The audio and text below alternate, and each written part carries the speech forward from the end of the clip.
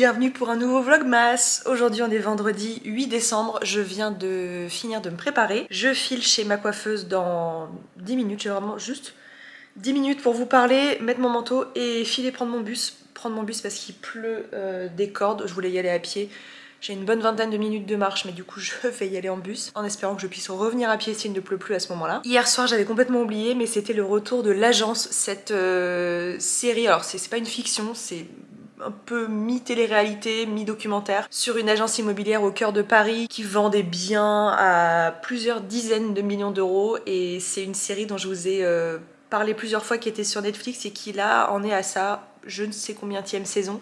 Ça se passe sur TMC. J'avais complètement oublié de le mettre dans l'agenda parce qu'en fait, ce genre de truc, j'ai l'info genre un mois avant. Puis après, j'oublie. En fait, j'ai regardé Quotidien hier soir et Yann Barthès a dit euh, tout de suite euh, la reprise de l'agence et j'ai halluciné. Je me suis dit, ah, mais c'est ce soir. Donc, je suis vite allée chercher Quentin qui était en train de se laver. Et on s'est calé euh, devant le premier épisode, on n'a pas encore regardé le deuxième, on le regardera en replay. C'est complètement délirant, les gens achètent des maisons à plusieurs, voilà, dizaines de millions d'euros et parfois ils bloquent sur un papier peint, alors que clairement ils ont assez d'argent pour raser la maison et en refaire une. Enfin, c'est vraiment, on est vraiment sur le truc hashtag problème de riche. C'est aussi dérangeant que fascinant qu'énervant que bah en fait moi j'arrive pas à en décrocher. Je trouve ça hyper addictif et vraiment je passe toujours un bon moment. Donc voilà c'était notre petit programme euh, d'hier soir. Au moment où vous regarderez ce vlog, les replays seront très probablement disponibles sur euh, TMC, enfin TMC qui est une euh, chaîne du groupe euh, TF1. Et puis voilà, je vais essayer quand même de m'attraper quelque chose à manger avant de partir parce que je, bah, avec la longueur, l'épaisseur de cheveux que j'ai,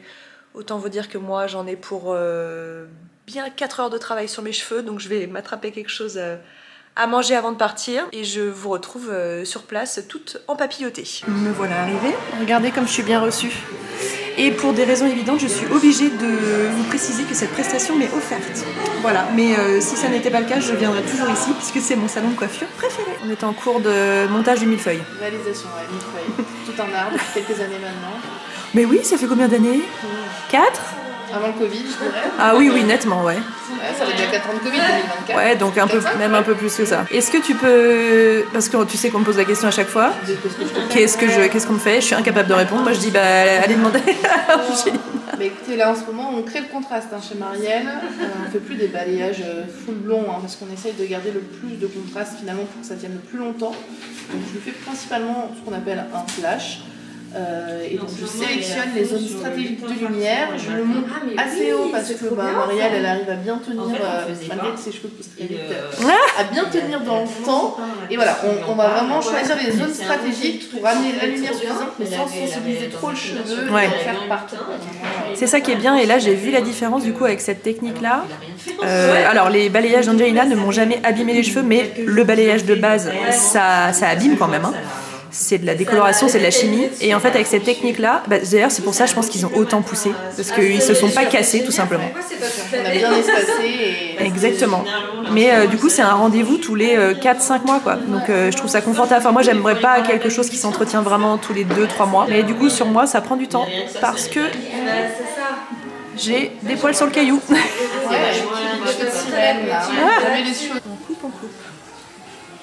mais regardez comme je suis bien accueillie. Alors j'insiste, hein, il est 11h32, donc ceci est une boisson sans alcool. Mais dis donc, hein Sympa les fêtes chez l'atelier d'Angelina, hein Je vous montre sur cheveux lisses avant qu'on boucle, mais je suis trop contente. Angie à la caméra. oh bon je suis de retour chez moi. Voici le rendu final, sachant que je suis rentrée euh, sous la pluie. Il fait hyper euh, humide, vous savez, le froid infiltrant là. Il doit même pas faire très froid. Hein. Qu'est-ce qu'elle dit la montre? 6 degrés. Il fait même pas froid, mais euh, le, froid humide infiltrant là, je déteste ça. Je dois avoir les joues rouges vifs. Voilà le rendu final, je suis trop contente. Bon, c'est pas comme si c'était une grande nouveauté à chaque fois parce que je suis pas très audacieuse avec mes cheveux, mais j'ai demandé des mèches qui démarraient un peu plus haut pour un résultat plus marqué mais moins clair que d'habitude. Je sais pas si vous avez saisi la nuance.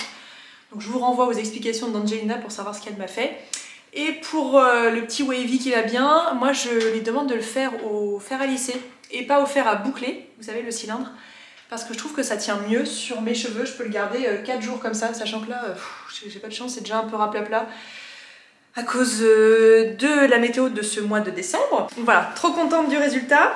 Je suis en train de vider mes affaires, j'avais pris de la lecture. Et euh, j'ai fait trois emplettes, à savoir que chez Angelina, j'ai repris le shampoing Blonde Enhancer, le Olaplex numéro 4P, qui est un shampoing violet comme son packaging l'indique, qui permet de neutraliser les reflets trop jaunes. alors ça, c'est à utiliser vraiment une fois par mois. Moi en réalité j'en ai pas vraiment besoin parce que Angelina est très très douée en couleur, en patine et c'est jamais trop jaune mais parfois je trouve que ça finit par jaunir un petit peu dans le temps auquel cas je dégaine ce shampoing que j'adore. Il est très efficace. Attention, ne pas le laisser poser trop longtemps euh, à moins que vous vouliez un rendu euh, vraiment cendré, euh, presque blond polaire. Et si vous voulez juste neutraliser des reflets un peu trop chauds, il faut le laisser vraiment une à deux minutes grand maximum. Et attention parce qu'il tache les doigts, les mains, les ongles.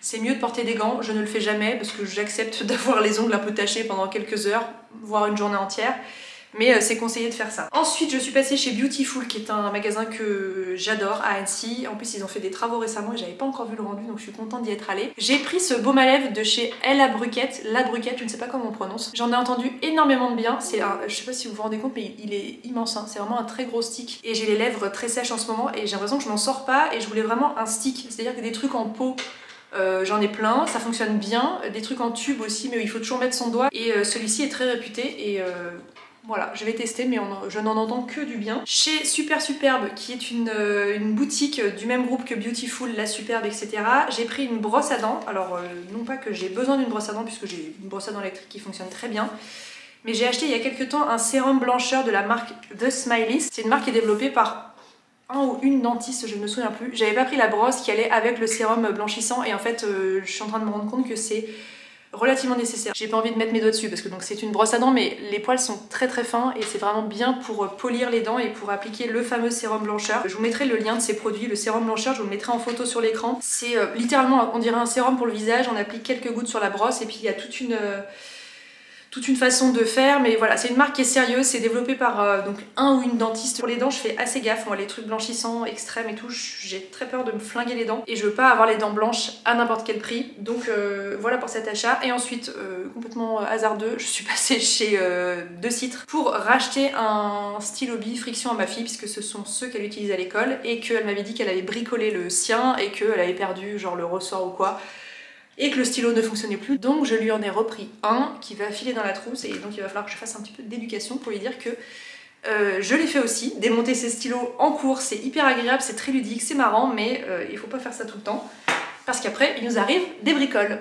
Voilà, avec tout ça, il est 13h09, je vais manger rapidement.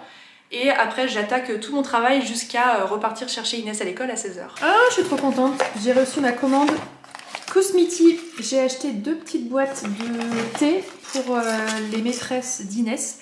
Alors, à chaque fois que je mentionne l'idée de faire un cadeau à un enseignant, il y a quelques personnes, très peu, mais quelques personnes, qui me disent ah mais tu fais des cadeaux aux enseignants, mais moi quand j'étais petit on faisait pas de cadeaux aux enseignants. Alors vous faites ce que vous voulez avec les moyens que vous avez. C'est-à-dire que si faire un cadeau à quelqu'un euh, vous prend sur vos finances personnelles, je comprends tout à fait qu'en ce moment ça soit compliqué pour tout le monde. Je, pense que c'est pas une bonne idée. Quoique on peut tout à fait faire un cadeau pas cher, typiquement des biscuits, des sablés, vous offrez ça à quelqu'un, je pense que c'est un cadeau qui vient du cœur et qui fera hyper plaisir. Avec Quentin, on est plutôt de la team qui se dit que euh, le corps enseignant, les personnes qui sont auprès des enfants, de nos enfants, euh, sont payés euh, une misère pour un travail phénoménal. Donc on est de la team qui fait un cadeau aux fêtes et un cadeau en fin d'année. Mais cette vidéo n'est pas une injonction à faire un cadeau, je vous laisse faire comme vous voulez avec vos valeurs et euh, vos finances surtout. Donc j'avais vu sur internet ce petit kit, c'est un kit avec deux petits thés en vrac, enfin un thé en vrac et une tisane en, vrac de la marque Kousmi donc et je trouve que ça présente